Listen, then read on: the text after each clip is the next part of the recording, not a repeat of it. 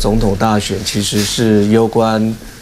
我我觉得是整个我们国家的未来了，而且其实对国民党来讲也是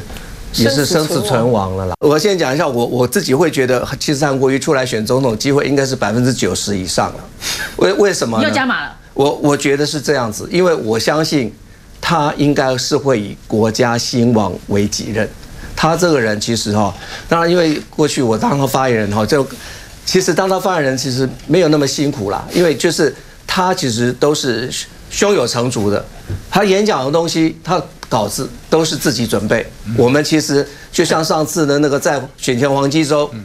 发生了一些意外的状况的时候，我们跟他提醒说，呃，那个吴主席之前讲了一些什么东西，他说他知道，然后他沉思了之后，后来他上台去，他马上就做。就做了一些处理哈，那也处理的也很漂亮，所以我要讲的是说，其实我觉得韩市长，我们其实是对他有很深的期待了哈。但是呢，我觉得党中央，尤其是李泽华哈，主发会的哈，最好在这个部分呢，就是不要，因为其实负负责选举。你觉得李泽华是？他自己想这么发言，还是有高层授意他这么发言？我觉得是他自己要这样子发言。他自己，我觉得这样发言就是不恰当，因为在负责这个选举的，尤其他又是初选委员会的七人小组之一，哈啊，我因为其实像去年我们在选，这我跟韩国瑜在，所以他的政治敏感度这么低。对，你知道吗？他明明在负责这么重要的一个选务，他政治敏感度我完全没有这么低，然后自己用自己的意思讲了这么重要的。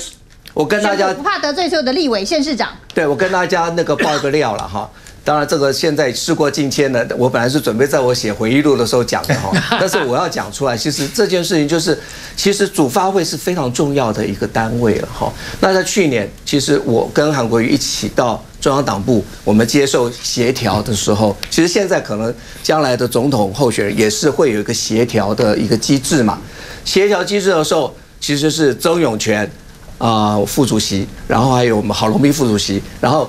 李泽华也出来，杜建德也在场，好，我们几个在那边谈这个事情的时候，还有就是一个地方党部的主委，那地方党部的主委在那个时候，我们在开开协调的时候是谁？韩国瑜，然后所以在那个签签报道列席的那个就是出席的签的那个表的时候，韩国瑜在上面签，然后下面候选人。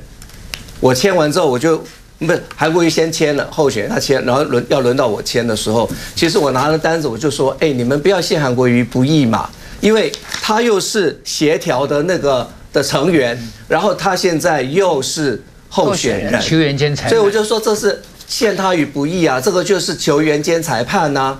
那为什么不能够韩国瑜就请假，然后让副主委那个时候是史忠义嘛，让让他让他来参加这个会议。签嘛，带韩国瑜签嘛，然后我跟他两个人都是候选人嘛，结果现场李泽华就说不用这么麻烦了，这个就是协调一下就好了。可是我觉得其实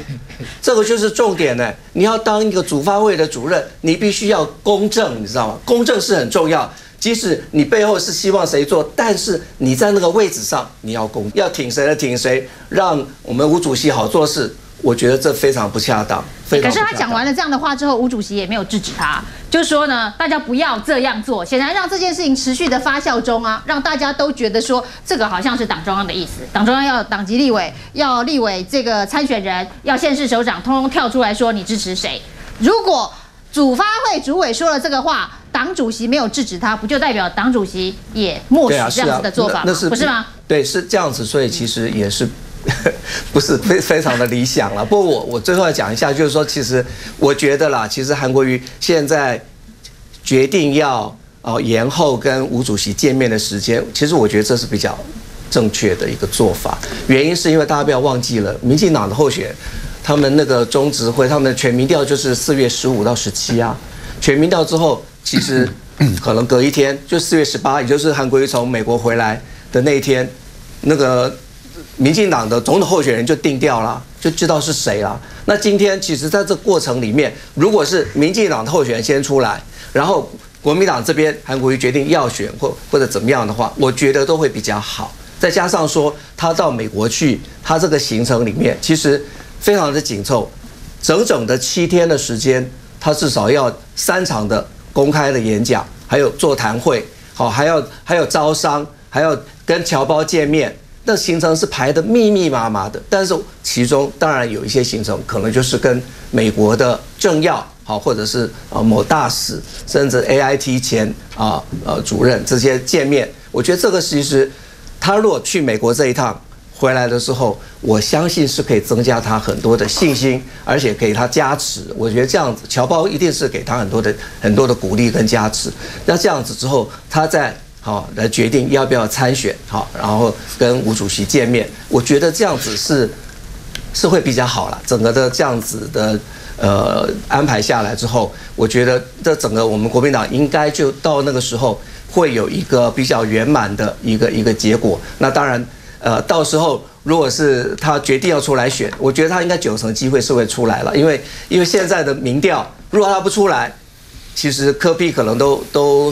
就是沙卡都的情况下，科比还是赢朱立伦嘛，除非朱立伦我有办法在最近这一段时间能够好能够能够把他的声势做起来，但是很可惜就是他现在没有舞台。他现在只是一个总统候选人，也不像韩国瑜是一个市长，所以因为没有舞台的关系，所以你看，呃，不好意思，我稍微讲一下，就像四月一号愚人节的时候，我看到他在愚人节的那个脸书东西，还有我们王院长的四月号愚人节中，我其实我是觉得蛮悲哀的啦，因为因为如果说要用这样子的方式来来自我愚弄呃解啊自我那个调侃自己，然后到最后被网友。骂到那个地步去，其实我觉得，就是就蛮可惜的。我觉得其实政治人物有时候还是要有一点自己的那个呃风格会比较好。那怪谁呢？有没有不是有人去逼他自己要这样做？那怪谁？所以啊，我就说，所以这个就是因为因为已经没有舞没有那个舞台曝光的机会之后，他当然就是只好在每一个可以可以的那个可以消息新闻媒体曝光的情况，他就会比较。英文叫 desperate，就是会比较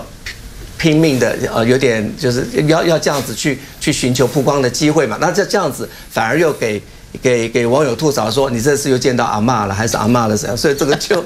就我觉得其实那是反而事实上是不不是很好。党内互打了，其实我是非常不乐见这样的情况。我觉得国民党没有分裂的条件啊。首先我要回应一下这个这个呃我们我们原知的这个意见啊，我跟他一半相同一半不同啊。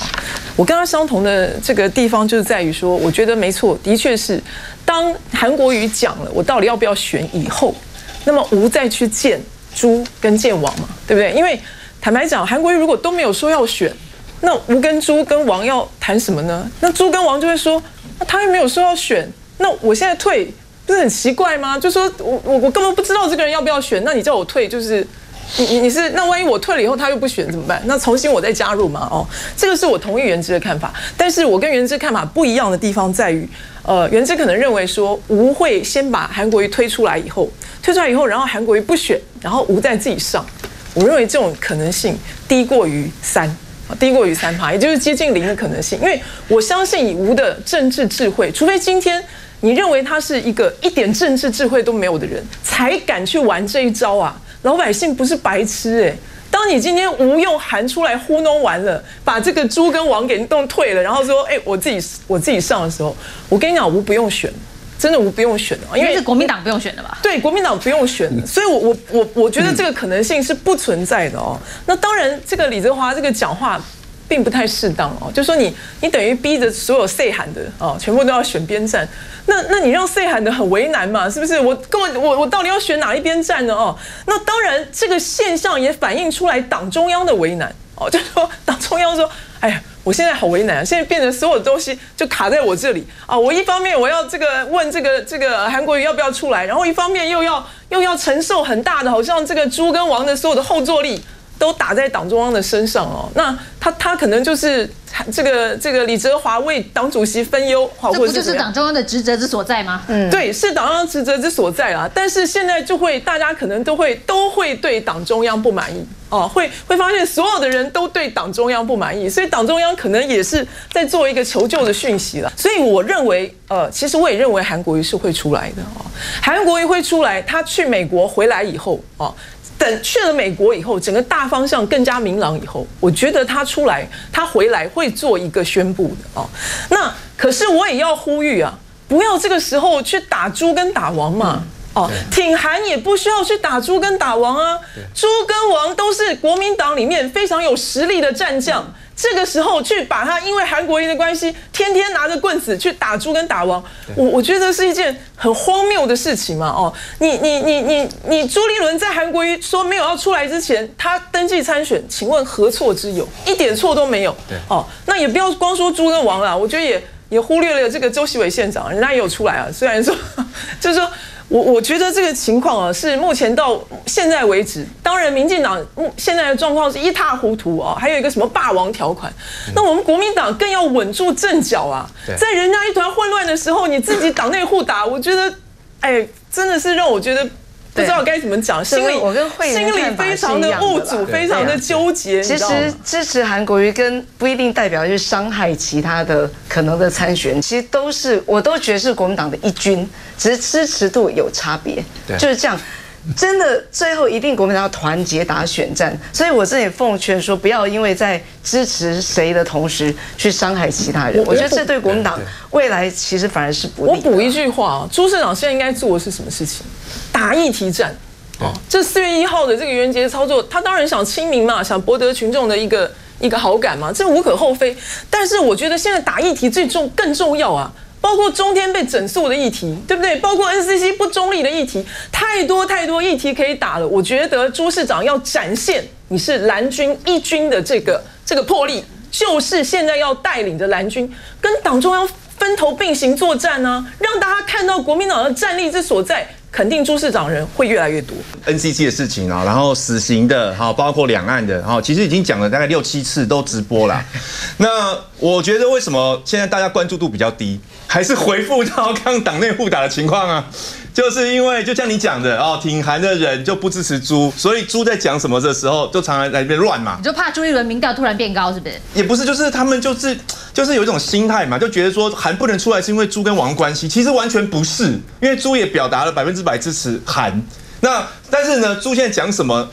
很多人包括绿军的也会借机见缝插针，就讲啊，你也不用讲了呀，反正你不见得会出来。其实我觉得真的是 对。诸王都是一种很大的伤害，但是其实他是有，反正我是觉得党中央的角色应该更强烈一点，因为像刚刚慧你讲很多事情，其实以前都是党中央带头发动的。你想想看，如果同样的事情是在民进党执，呃，是在国民党执政底下发生这些荒唐事情，民进党早就上街头了，号召几万人，国民党现在为什么没有？因为国民党现在每天在搞这些啊，征召韩国语，搞这个发明很多制度啊，然后叫大家表态啊，都在弄这些跟党团结无关的事情，应该党中央应该要主导刚刚那些议题才对了。